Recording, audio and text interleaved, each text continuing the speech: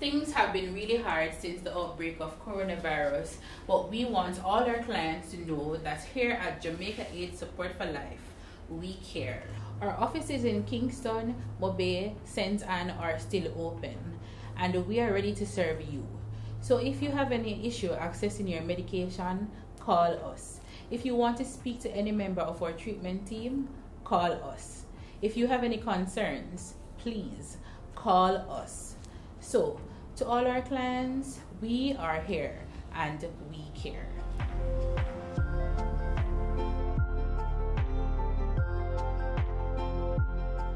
A message brought to you by Jamaica Aid Support for Life.